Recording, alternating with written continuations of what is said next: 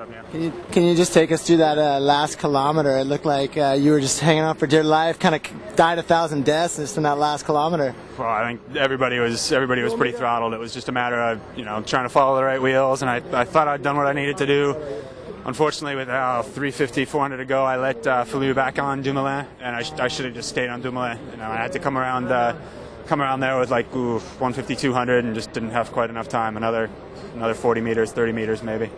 Talk about a little bit about what was going on in, your head. You just found out you're going to the tour a few weeks ago, and uh, you finished the day about a, uh, a wheel's length from the from the win.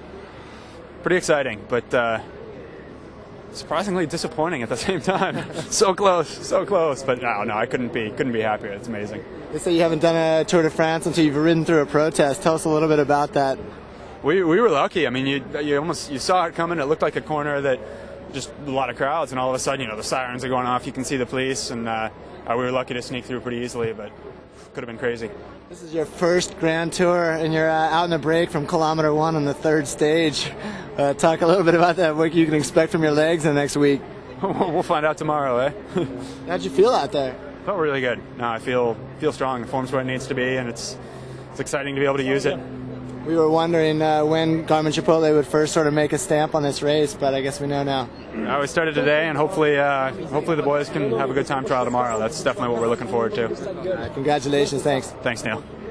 The Tour de France now. Pretty pretty exciting. I think today was the day that it definitely became not just another race. and these Brittany stages are really pretty hairy, aren't they? A lot of wind, bit of rain.